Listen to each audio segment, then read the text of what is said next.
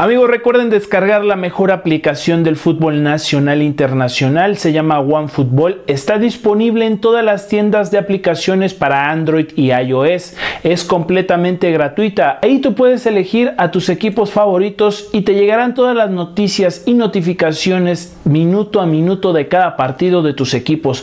No te olvides, OneFootball es completamente gratuita. ¿El Azteca realmente nos pertenece? ¿Somos arrimados en el Azteca? ¿También pagamos renta?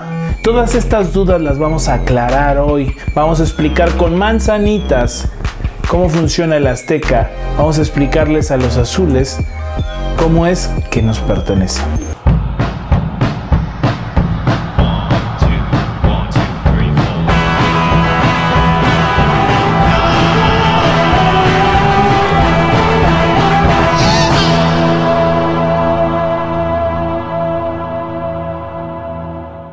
Vamos a retroceder en el tiempo hasta 1963. En el 63, Azcárraga Milmo planea hacer el estadio más importante del país, el Estadio Azteca. Para esto crea un grupo de otros equipos en donde estaba incluido Atlante y Necaxa solamente. Este grupo de equipos tienen ciertos beneficios sobre el estadio, aparte de tener el 20% del estadio, o sea, el 60% le pertenecía a Azcárraga Milmo.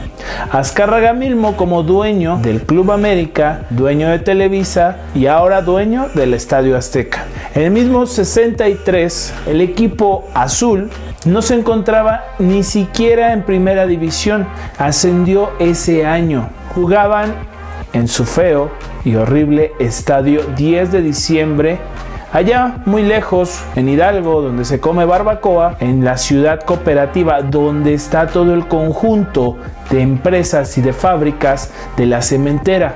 Ahí ellos tienen un estadio de 17 mil aficionados. Seguían avanzando los años, se construyó el Estadio Azteca, donde los locales eran Atlante, Necaxa y América y ahí lo administraba Fútbol del Distrito Federal. Funcionaba un poco como funciona en Guadalajara con el Estadio Jalisco, donde todos los equipos tienen parte del Estadio Jalisco y lo pueden utilizar cuando lo necesiten. Pero esa es harina de otro costal. Acá se les dio la oportunidad de tener parte del estadio, pero siempre el socio mayoritario fue el grupo Televisa Azcárraga Milmo. Finalizan los años 60, después de dos campeonatos del equipo azul, deciden expanderse crear nuevos horizontes para su fatídica historia.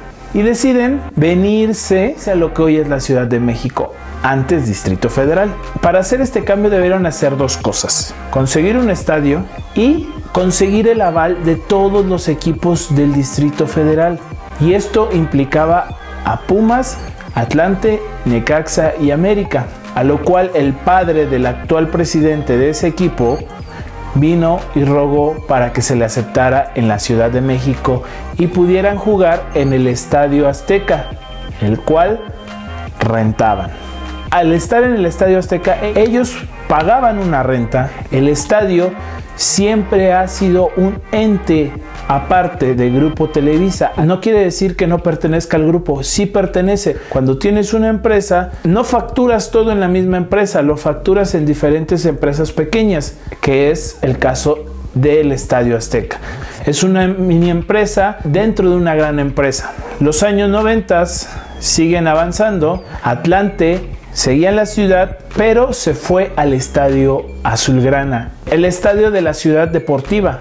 Ahí habitó durante unos años antes de volver al Estadio Azteca. Principios de los 2000, Atlante decide mudarse a Cancún. Atlante decide mudarse a Cancún y Necaxa decide mudarse a Aguascalientes. Después de un tiempo, Necaxa ya no pertenece más a Grupo Televisa, por lo cual el América se quedó solo en el Estadio Azteca.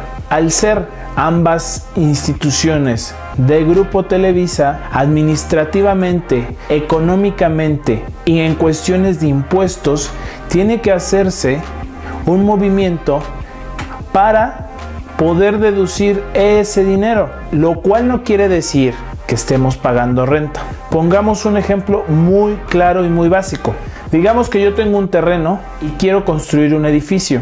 No tengo el dinero para construirlo, pero le digo a dos amigos que se acerquen para construir el edificio.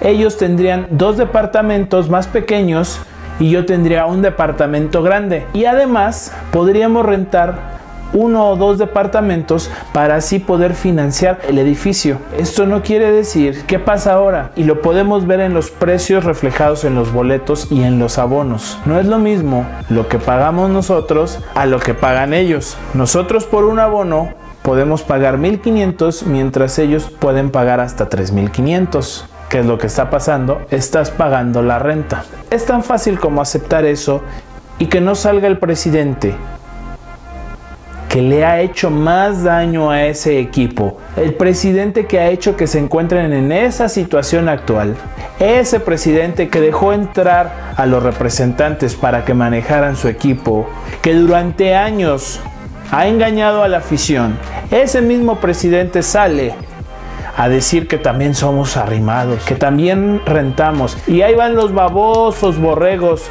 a seguirle la palabra. ¿Qué podemos esperar de esas personas de azul y que desconocen la situación porque no han leído la historia del fútbol mexicano? Y es que el chiste se cuenta solo. El chiste se cuenta solo partiendo de que una empresa cementera no pueda construir un estadio digno para su equipo de fútbol. El chiste se cuenta solo, cuando con más de 20 años no han ganado un título de liga. El chiste se cuenta solo cuando su presidente quiere salir a defender lo indefendible. El Azteca es nuestro, el Azteca es del Club América. Es una empresa que pertenece a un grupo, a Grupo Televisa, y que tiene muchas empresas más por eso no vengan con argumentos que repiten y repiten y repiten. No vengan con argumentos que escucharon y que están repitiendo. Primero infórmense de quién es la casa y después discutimos. El Azteca es del América.